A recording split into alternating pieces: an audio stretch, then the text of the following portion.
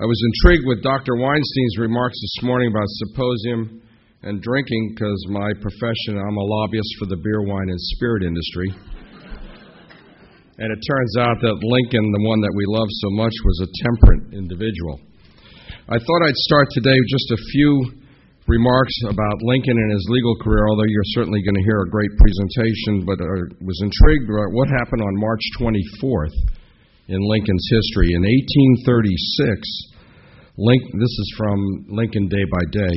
Lincoln's name is entered on record of Sangamon Circuit Court as person of good moral character, the first of three steps in obtaining his law license. So it's quite a day. On March 24th of 1843, Lincoln wins two divorce suits, and he represents a plaintiff in three cases and a defendant in others. So he had a great way of being on both sides of individuals. In 1847, Lincoln is attorney for John Calhoun in six cases, and all are continued. All of you in this audience that are attorneys know how we love to continue cases. In 1853, he had 21 cases on the docket. In 1854, only one of six cases that he had came to trial. True day in a lawyer's life. In 1855, Lincoln has a busy, though not very successful day in court. In a slander suit, the jury finds against his client. And finally, in 1860, we have a combination of both law and politics because it notes that he's busy in court Lincoln writes to Samuel Galloway of Columbus about the presidency. So, this is Lincoln eh, from Lincoln's Day by Day. It is my pleasure as an attorney to introduce another attorney to speak about a third attorney, especially when the attorney I am introducing is Mark Steiner, and he is here to speak to us today about Abraham Lincoln in the role he held for five times longer than that of president, that of an attorney. Mark, currently an associate professor of Law at South Texas College of Law, has been a law professor for nearly two decades. He has taught the basics, such as torts and legal research and writing, in more specialized classes in American legal history and Asian Americans and the law. Mark was a Fulbright Scholar in 2005, teaching at National Taiwan University College of Law. However, Mark is not only an attorney and law professor, he is also a specialist in a side of Abraham Lincoln that is not frequently enough, at least in this attorney's mind, discussed his law practice. Mark received his PhD in history from the University of Houston in 1993, having written his dissertation on Abraham Lincoln and the antebellum legal profession. Following his dissertation, Mark has published numerous articles. It is clear that Mark has an extraordinary depth of knowledge and research on which to draw in talking us today about Honest Abe's honest profession.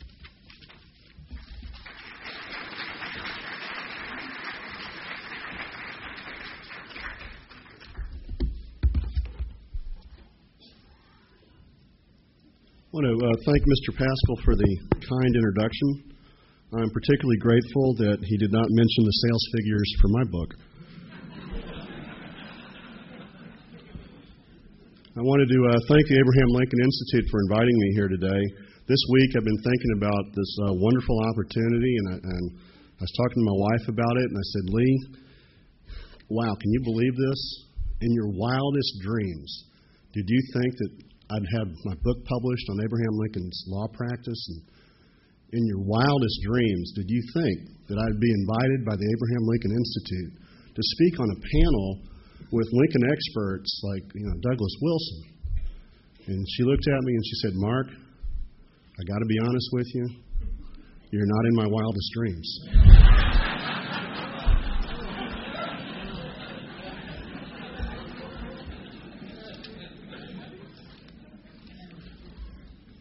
I had an early uh, email about the schedule, and at that time I had the uh, idea that I had an hour to speak. And uh, today I found out I had 35 minutes. Um, I, I think I'm okay. I've, I've cut out all the good parts, so um, I think we'll be timely.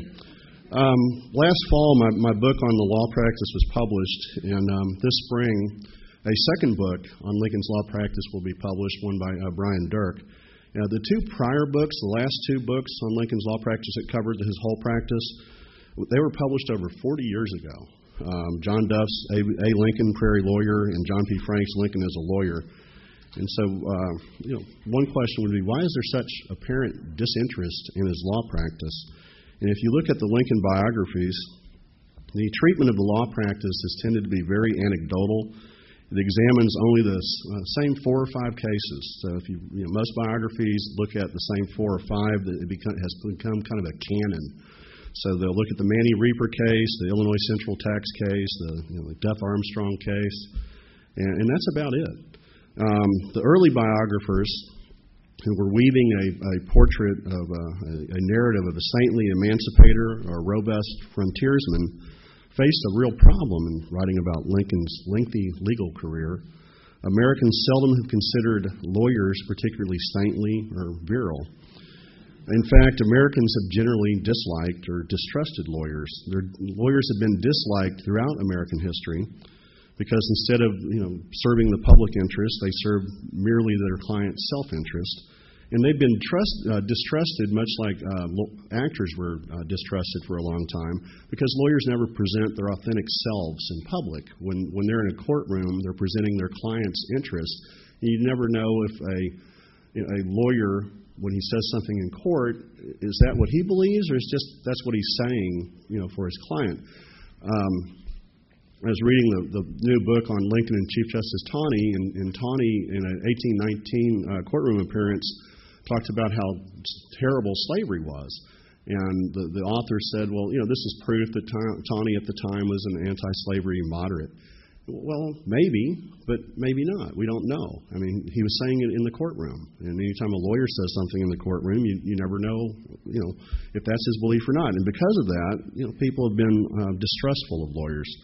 So we have this negative cultural image of lawyers, and then we have this positive cultural image of Lincoln.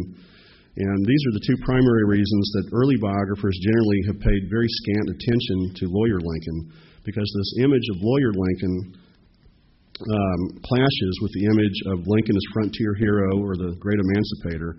Um, Lincoln biographer Stephen Oates once explained that Lincoln comes to us in the midst of legend as a homespun rail splitter from the Illinois prairie, or his father Abraham, the great emancipator who led the North off to civil war to free the slaves and after the conflict ended, offered the South a tender and forgiving hand.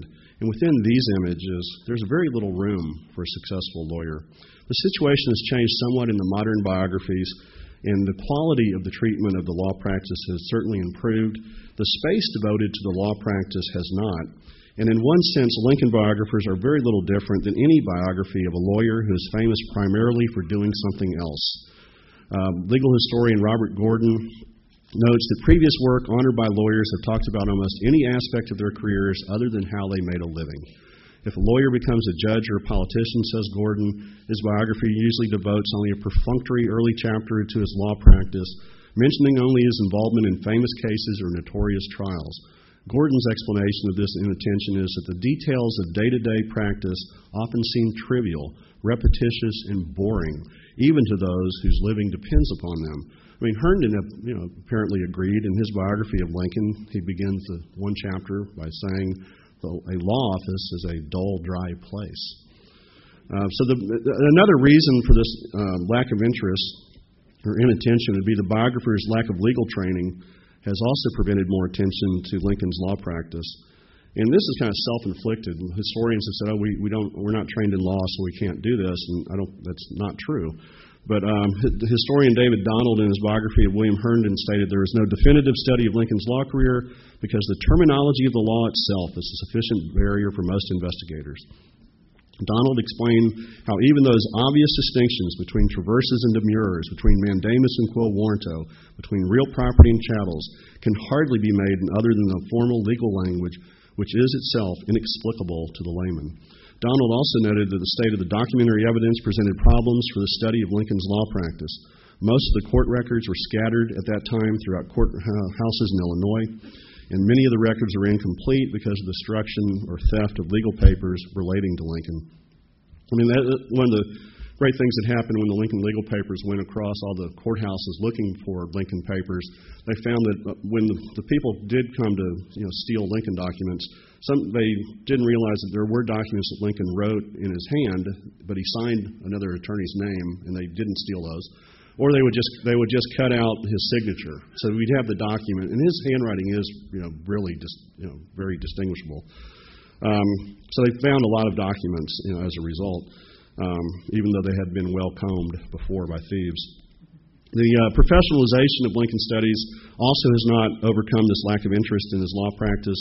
You know, we uh, heard about James G. Randall's essay in uh, 1936 earlier, and he complained then about the hand of the amateur has rested heavily upon Lincoln scholarship.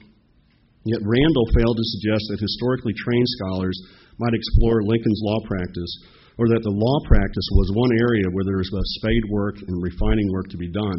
In 1979, uh, Markey Neely uh, re examined uh, Lincoln scholarship since the publication of Randall's article. Unlike Randall, Neely saw the need for spade work in legal history. He said, an area where professionalism has been slow to command. He saw legal history as a promising route for a, fr- uh, for a fresh understanding of Abraham Lincoln. Interestingly, Neely uh, almost completely neglected Lincoln's law career in his, his 1993 biography of Lincoln. He spent two paragraphs on Lawyer Lincoln. Uh, one paragraph was an explanation on why he wasn't spending more. Um, instead, that um, his professional life remains inaccessible to the uh, historian. The problem is largely archival. He complained that documents from Lincoln's law practice yield information grudgingly. And he believed that without transcripts of trials, it's impossible to know that what happened in the courtroom unless the trial was sensational enough to be covered by newspapers. And secondly, he pointed out the antebellum legal system used antique terms and obscure forms that have since been discarded. And these are not insurmountable, uh, insurmountable problems, though. Um, David Donald accurately noted in uh, 1948 that the about the documentary problems that scholars faced in, uh, who are interested in Lincoln's law practice and, and that problem just completely disappeared with the uh, Law Practice of Abraham Lincoln Complete Documentary Edition was published in 2000 because not only did the Lincoln legal papers go out to the Illinois courthouses and gather all these things, they then did the next step because of technology, which was to scan them and digitize them and then put them on DVDs. So you don't even have to go to Illinois to look at all these documents. And then um, there was a foundation who underwrote um, the purchase of this collection for every uh, ABA accredited law school in the United States. So there's you know, hundreds of copies out there. So you, you know it, it, was a great boon for research, and it's and it's you know like state of the art because you can do searches on it. You know, it's a, search, a searchable database. You can find out things like, well, how many times did Lincoln did this kind of trial or that kind of trial? Before now, it's always been very impressionistic. You're like, well, Lincoln handled many trials of this type, you know, or he seemed to handle a few. Well, now you can you know, give the numbers on it. All right, the um, Donald you know, uh, also became the first Lincoln biographer to use the materials from the Lincoln Legal Papers Project, and this is before they had been digitized. He came to Springfield. And in his uh, 1995 biography of uh, Lincoln, he said that this was the most important archival investigation now underway in the United States. And although he finished uh, his biography several years before that was uh, the project was complete. The, the, book does show the influence of the project. One chapter on Lincoln at the head of the profession of the state was based on hundreds of unpublished documents in the files of the Lincoln legal papers, and he thusly gave a fuller sense of the breadth of Lincoln's practice, and he included cases that previous biographers had ignored.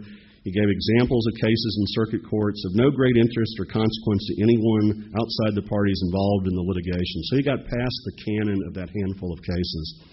But other Lincoln scholars have continued to uh, devote scant attention to Lincoln's law practice. Late William Gienapp, for example, generally avoided the law practice in his Lincoln biography.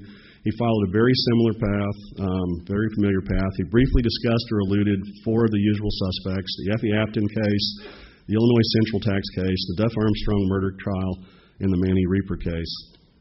And he, he thus highlighted the same cases that uh, Albert Beveridge had talked about 75 years before. There's, there has uh, been one group that's a um, exception to this lack of interest in Lincoln's law practice, and that would be lawyers. Um, with the publication of Frank's books and Duff's books, that brought the total of uh, full length treatments of Lincoln's law practice to six. All six have been done by lawyers. Um, my book is the, the seventh full you know, treatment of his law practice, and I'm also a lawyer. But I'm, I, you know, I do have a PhD, so I'm, I'm partially rehabilitated. Um, but Brian Dirck's book will be the uh, first book, first full treatment of Lincoln's law practice, uh, not written by a lawyer. Um, so the, the, lawyers have been attracted uh, to Lincoln for very obvious reasons. Um, I, in my book, I say that lawyers were trying to uh, get Lincoln's mojo, um, and I always thought someone would take out the, you know, tell me to take the word mojo out, and um, no one ever did. And so it's, it's in now. It's in the index. I, I did. I, did the index. If you look under um, Lincoln, it will say mojo. Um, I thought in case someone was looking for that, they should be able to find it. All right, the, um, but I think the study of Lincoln's law practice does pay dividends, um, particularly now with the um, legal, you know, publication of legal papers. And it's also true this is a, a, very propitious time to study because in the last 40 years since Duff's and Frank's books came out, there has been um, incredible uh, outpouring of works on legal history that are complementary to the study of Lincoln's law practice. There's a lot of antebellum work being done and that help uh, you know, understand what you know, Lincoln was doing so you can put what Lincoln was doing in proper context. And um, one and you know, I look at um, different things. One thing I look at is Lincoln's legal education, how he studied for the law, you know, the influence of John T. Stuart, who um, there, there wasn't much of a barrier to get into the to the um, legal profession at the time, and what you really needed was just a sponsor, and, and John Stuart became his sponsor. And that early period in Lincoln's uh, studying for the for the um, to become a lawyer is very well covered in Douglas Wilson's uh, Honor's Voice: The Transformation of Abraham Lincoln. But um, like for you know, New Salem resident Henry McHenry I'm beeping something up here. Um, William McHenry, uh, Henry McHenry said that Lincoln was so absorbed in the study of law at this time that people said he was crazy. And the um, and what he did, and unlike most lawyers, he didn't apprentice, and he and he uh, he didn't go to law school. Hardly anybody was going to law schools in those days. But but most would-be lawyers would apprentice in a law office, and he didn't. As Lincoln said, he studied with nobody. Um, and you know, so he did. Although he didn't apprentice, his reading for law was similar in breadth to those who did um, train that way. And what he missed out on was the copying of documents. It actually was probably a pretty good deal for him. Um, but his education and training was uh, more unusual when compared to other prominent members of the Illinois bar. Most of them had attended some college or law school. And so, but his minimal preparation meant that his legal education continued throughout his career. And as lawyer Lincoln only read law books uh, when he had to, um, but he ably used those to find answers to legal problems. He, he wasn't a diligent student of the law, um, but when he was pressed by necessity, he was a sophisticated user of the available use, uh, sources of legal information. And his, his um, minimal early training and the rapid changes in antebellum law ensured his legal education continued throughout his law career and although he told would be lawyers to still keep reading after becoming licensed, when he read, it was for that case. He would read because he needed to read for that case. Uh, Herndon believed that Lincoln, quote, never studied law books unless a case was on hand for consideration. Da- uh, Judge David Davis, who saw Lincoln on the circuit, similarly believed that Lincoln read law books but little, except when the cause in hand made it necessary. Lincoln, according to Herndon, was in every respect a case lawyer, never cramming himself on any question till he had a case in which the question was involved. And Herndon wrote that Lincoln never followed up the decisions of the Supreme Courts as other lawyers did.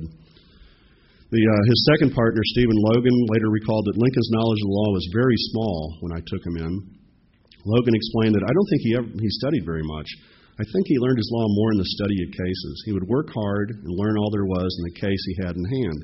He got to be a pretty good lawyer, though his general knowledge of the law was never very formidable. But he would study out his case and make about as much as, of it as anybody. And, and this was typical. His approach to reading law books was typical for lawyers then and, and lawyers now. Although Herndon noted that Lincoln never read much law, and I never did see him read a law book through, he completed that sentence by noting, and no one else ever did. Lincoln uh, lawyers read purposefully. Lawyers, as legal historian Michael Hoeflich notes, read to acquire knowledge with a specific end in sight. They seek to find the specific nuggets of information they require for purposes wholly external to the text itself. John Littlefield, Littlefield who studied law in Lincoln Herndon's office, later described Lincoln reading law books. Lincoln's favorite position when unraveling some knotty law point was to stretch both of his legs at full length upon a chair in front of him in this position, with books on the table nearby and in his lap, he worked up his case. And his approach can be seen, Lincoln's approach can be seen in his actions he took after he was mailed a catalog of law books. He kept the catalog, so it's, it's in the Library of Congress papers. And it listed over 1,100 English and American treatises by subject. And so he kept it and he, uh, he folded it back up, but he also wrote at the top, on the outside of the envelope, too deep for me.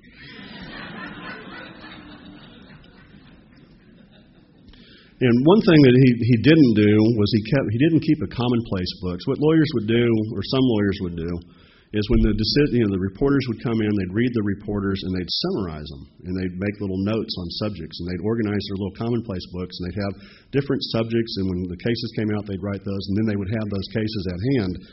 Um, this was done, you know, particularly by 18th century lawyers. In the 19th century, commonplacing is, is starting to die out and uh, Joseph Story, the uh, Harvard law professor and Supreme Court judge, thought that they were being these commonplace books were being, being replaced by the publication of case finding aids like digest and abridgments. And um, Lincoln also had, um, for case finding, um, used Herndon. So Herndon, as the junior partner, did much of the legal research for the firm. Albert Taylor Bledsoe, who practiced law in Springfield in the 1840s, remembered Lincoln did his reading as some men do their religion by proxy by his good man Friday, William H. Herndon, who with creditable zeal and industry would collect all sorts of cases and authorities for him. Um,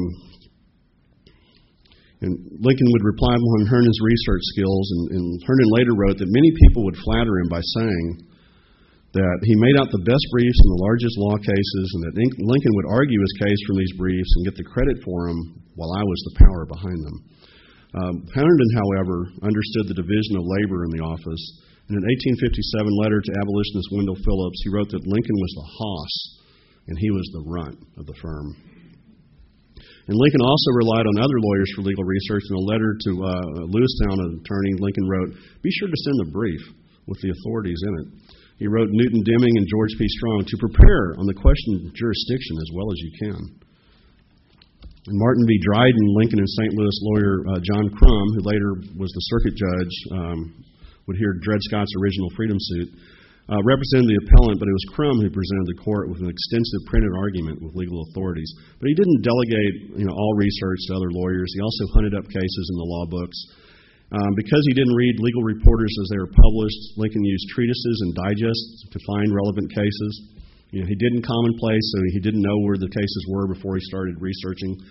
And these treatises, and there had been an explosion of treatises in the early 19th century, and Digest provided Lincoln and other antebellum lawyers a way to study out a case. Now, American legal treatises would then serve the practical needs of American lawyers like Lincoln. Um, American lawyers had to research these cases because they had to figure out, for one, because um, most things were kind of in play in the 19th century, whether uh, English common law applied. So if, we'd have an English common law rule, but did it apply? Um, English common law, as stated by uh, Supreme Court Justice Joseph Story, was not to be taken in all respects to that of America. As Lincoln observed, the decisions of our, our courts were conforming, as they should do, to the nature and wants of our country. But um, so antebellum lawyers not only had to be uh, familiar with, like you know, in Illinois, uh, the Illinois cases, but they also researched uh, decisions from other states. They'd also would, you know, because of the importance of English common law, they researched English decisions. If you look at the um, you know, what we have left in terms of documentation. Lincoln's often citing cases from out of, you know, outside of Illinois, and he's citing English cases. Um, finding these cases for antebellum lawyers was burdensome. Uh, every profession, an antebellum observer noted, has grievances under which they groan without the sympathy or even knowledge of others. For antebellum lawyers, their grievance was the sheer number of books. Courts were primarily responsible for the bewildering bulk, complexity, and multitude of law books. Legal treatises then would be used to find the cases. You'd read the treatise because it would have footnotes, and you go to the footnotes to find the cases. Um, Lincoln would relied heavily on these legal treatises. Uh, we have documentation of Lincoln citing at least 36 treatises and 47 trial and appellate cases. That's 30 different authors. 20 of them uh, were English authors. Um, he would, he, he, although he didn't read these books until necessity forced them, uh, when forced, he effectively used what was in his law office and in the Supreme Court library. Uh, there's a motion for rehearing in Patterson v. Edwards, a slander case. Lincoln offered to furnish the court, if they desire, with a new edition in two volumes of Starkie on slander. So he knew that the judges didn't have access to that book. That's why he was offering his new edition from his library. In another 1847 motion, he said um, he relied on one of the latest editions of Chitty's pleadings and then stated the edition was in the library of Messrs. Lincoln and Herndon, which I hope they will allow use of to the court in the investigation of this petition. He also kept a mental inventory of the treatises in the Supreme Court Library. In an 1857 letter to co-counsel in an admiralty case, he wrote, I understand they have some new Admiralty books here, but I have not examined them. He also relied on published digests of reported cases. Digests uh, have give little summaries of cases by subject areas, and they, they would be arranged under a system, uh, system of classified headings. And again, this means that lawyers didn't have to read everything as it came through with all the different published reporters. They could stay abreast by things by looking at the digest. So um, they could use these digests to find cases. The um, and, and they also became a substitute for the cases because not all the reporters had all these, uh, not all the lawyers had all these reporters. And he often used these digests in appellate cases. His favorite was the United States Digest, which was the first comprehensive American digest. In a, a one contract case, his clients had lost in the trial court. Lincoln argued that the client's non performance of a contract was excused by an injunction against the plaintiff that had affected the property that was the focus of the argument. To support this argument, he gave one citation and one citation only. One U.S. Digest, 540, Section 66. That was it. Uh, he won the appeal and the court reversed the judgment against the clients. In the ju- uh, court's opinion, they quote without attribution the black letter law statement from the digest that he had directed them to. They then cited seven cases they're all from the digest. The first five were in the same order as they appeared in the digest. So when he cited that digest, he had done his job. He had gotten the law to the court. Um, he also relied on the Illinois uh, Digest, which collected decisions from the Illinois Supreme Court. And so, in one brief, Lincoln cited Illinois cases to support a successful argument that the appeal should be dismissed because the judgment was against three defendants, while the appellate bond named only two of the defendants. Uh, he didn't look long for authority. I, I, my former colleagues at the uh, Lincoln Legal Papers uh, did a little write up on finding this brief, and they said, you know, this shows how Lincoln researched his cases and he worked hard. And, and um, so I got the Illinois Digest, and it took me five minutes to find the cases. So I'm thinking it took him less than that because um, he was used to using the Illinois Digest. Um, so he didn't look long for authority, but all three cases were in the, the, the section you'd expect him to be in. They were in, uh, on appeals and writs of error. Right, the um, a theme that I, I develop in the book is that of Lincoln as a, a Whig lawyer. That's what I want to talk about my remaining time. Um, as a lawyer, um, Abraham Lincoln developed a distinctive Whiggish attitude toward law and the role of law in American society. Uh, politically, Whigs like Lincoln were modernizing conservatives. They favored uh, inter- internal improvements such as railroads to foster economic growth. But they also believed in the rule of law, and that, that law provided a neutral means to resolve disputes. So Lincoln uh, was a legal, a Whig lawyer who embodied the Whig reverence for law and order. So if you look at Lincoln, if you look at his um, his early speeches and the importance of railroads, but then you look at his practice, uh, and he's often called a railroad lawyer, which I think is misleading because that sounds like someone who is suing railroads or representing railroads. Lincoln took business as it came. So in some counties, he sues railroads. In other counties, he represents railroads. Um, but if he was true to the economic agenda of Whigs politically, why would he be suing railroads? Because of their importance. You know, but the, the, the Whig value on law was to just settle these disputes. It didn't matter what side you were on. Uh, so he, I think he essentially had a political conception of what a, the lawyer's role was, and this also defined what an honest lawyer would be: um, represent clients faithfully. What unified his practice was uh, the importance of order and law And he wasn't, he wasn't a saint, and he wasn't a consistent advocate for corporate interest or economic development or even railroad interest. He had a service mentality. He was ready to represent any client. But uh, Whig lawyers like Lincoln were more than just mere legal technicians. They also stressed the importance of lawyers serving as guardians of community values, and so he was interested in mediating and settling cases as he was in trying them. And the, the good example of that are the slander cases. Um, and, and, I like looking at the slander cases for other reasons. Um, slander cases are this great window into uh, the social history of the 19th century um, because it's one area you can find how people actually spoke.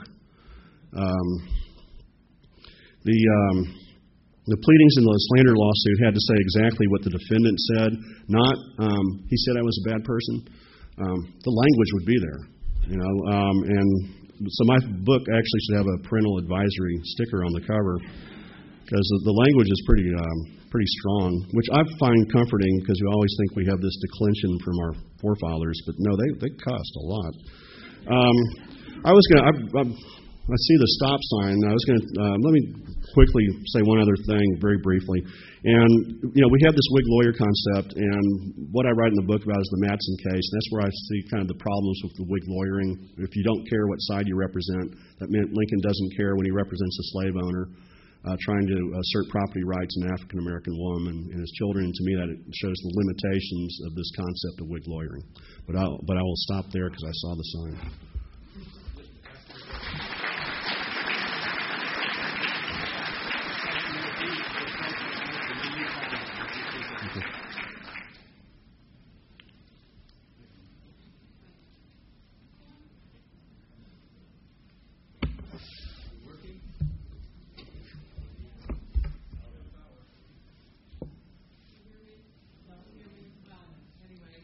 I can hear you.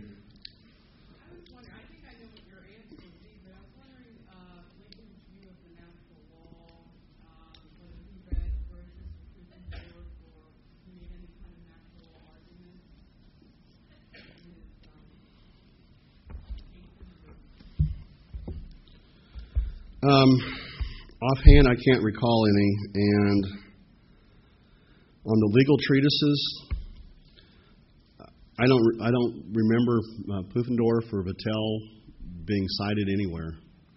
But I have a, um, a I have a chart of the, what he cited, but I, I don't remember those works being cited. So I, I don't think there's a lot. Um, it's it's mostly all positive law, you know, in the, in the courtroom. I mean, it's all t- it's talking about court decisions and statutes.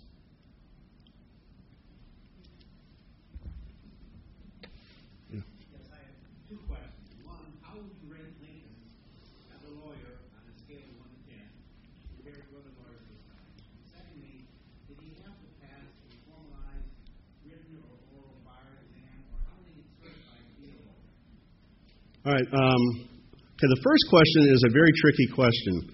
Um, but I think, I, I, think we can figure out an answer. But the problem on looking, you know, like on a win loss record, you know, if you, you can now do this in their database, you can figure out win losses, but we don't know how strong a case things were. I mean, you, you can see that he lost a case, but what does that mean? I mean, was it it said of one of my colleagues that he takes the cases that can't be won and loses them. Um, but and so the, in the same way, we, it's hard to tell by like a one loss record whether he is good, but by people seeking him out, you know, who sought him out as their lawyer and the, his general reputation that way, I think he he was pretty good. All right, so and then as uh, an author with a book on his practice, I'd have to go with a ten. Um, know, one one to ten. Um, no, so I think he was, he was he was pretty good. He was well respected, but it's hard to tell from the records. Um, the it was an informal examination, and it was an oral examination, and it wasn't intended to be a, a rigorous examination. And, and that tradition continues until the uh, early 19th century. I mean, I'm sorry, the early 20th century, do you have you start getting standardized bar examinations? There's no record of his exam, but you can read about other Illinois lawyers, and, and they've written about their exam, and you're given a few questions, and then you're expected to buy drinks for the examiners. There's, um, and I'll just mention as an aside, in Texas, um, in the early 20th century, in uh, West Texas, there was a cowboy who wanted to become a lawyer, and so uh, he studied for a little bit, and he went to the uh, same thing as Lincoln would have done. He went to this panel of lawyers who asked him a few questions, and they said, "Well, what's the difference between fornication and adultery?" And he, and he looked and he said, "I've tried them both. There isn't any."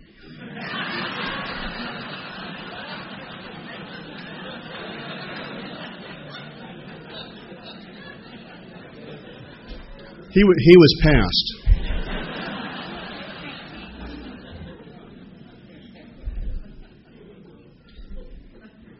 I'm not a lawyer, but I did uh, recently go back and read an old book by Carl Sandburg on young Lincoln. It looked like to me he covered a lot of the earlier cases, rather in depth, and I noticed you didn't mention that book. Uh, uh, is there some reason?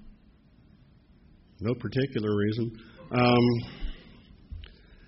no, it's it's it's hard to separate things in Sandburg's book, so it's you know it's you get distracted. I think reading it.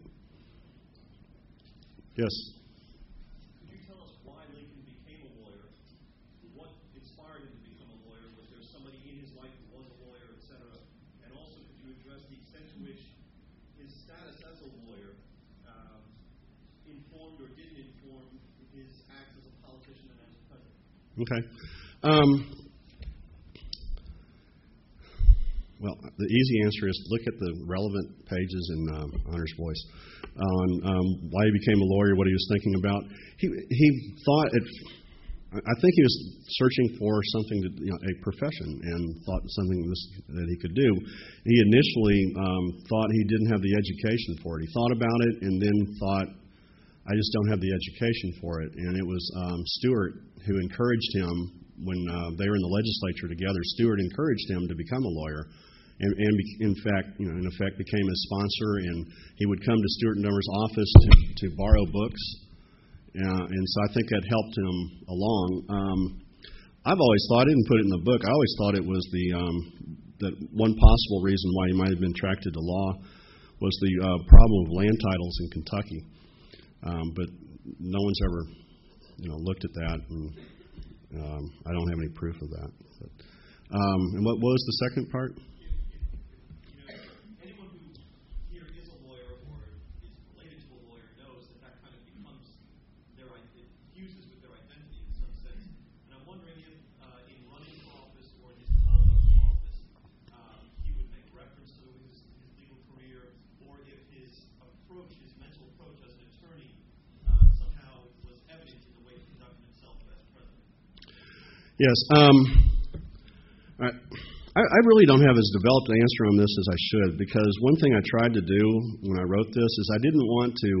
Some lawyers, when they've looked at this of Lincoln, you know, um, they'll say it's great that um, you know Abraham Lincoln was president during the Civil War because he was a lawyer, and actually it's just great we had a lawyer in the White House. Didn't have to really be Lincoln. Um, but, and I think that get, claims too much for the law practice. I wanted to consciously avoid kind of seeing what Tracy had during civil, you know, while president, and then go back and trace him back to the law practice. But um, no, if you read like the um, you know Lincoln Douglas debates, it, it, you can tell how it's framed, how he looks at things, and how, among other things, it, you know, practicing law gave him. I mean, you can tell by the way he researched cases. He he could be a quick study on things. He showed that during the Civil War. You know, um, he could organize his thoughts inc- incredibly well. He could present himself incredibly well. So I, I, it, I, know, positive it trained his mind in that way. The other thing, um, being a trial lawyer, is um, his kind of uh, theatricity.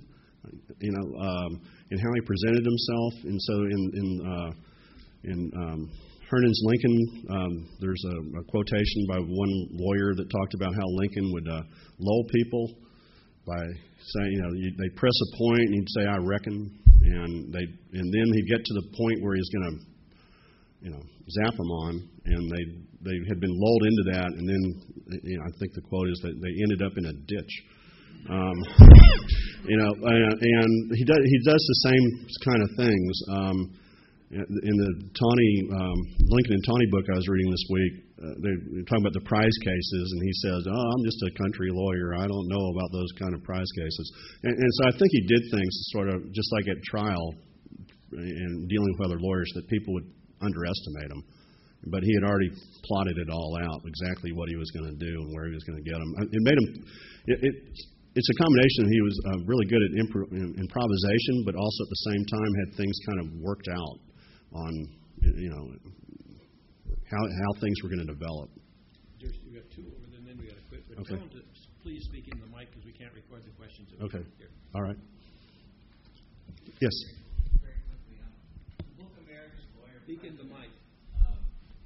doesn't rank Lincoln very high. Theory that um, in cases where he really didn't believe in the cause or the client, he exhibited less zealousness than in other cases. And so I'm wondering if, if your view is the record supports that. And, and second, it, it does strike me, maybe this is more of a comment, that Lincoln spent a, seemed to have spent a great deal of time thinking about whether the war power was an exception to the takings, clause when he was thinking about the Emancipation Proclamation. And I don't know if a non-lawyer would have worried as much about that. Yeah, I think the comment's exactly right. Um, I've already forgotten the first part. I'm sorry. Uh, but being less zealous if he didn't really believe in the, the Oh, clause or the client. Okay, I don't think that's true. And the reason I don't think it's true is nobody said it while he was practicing law. This was all said later. And I think it has something to do with the role morality. This is a way around the role morality. That he wasn't just a hired gun. That if he didn't believe in the case, then he wouldn't. He wasn't committed to it. But that you can't find anybody saying that, you know, contemporaneously. It, it's all later that people have these recollections. So I'm I'm dubious about it. And, and on the other, and again though, we have the problem. How do we know it's a, uh, you know, was it a weak case or a strong case? You know, they lost. Was it because Lincoln didn't believe in the cause, or it just wasn't a very good case? The Matson case, he lost, but he was going to lose. Uh, under the law, he's going to lose ten times out of ten. You know, so um, people used to say he threw the case away. There was nothing to throw away. He, he was on the losing side of that argument. He could not win that case. Thank you.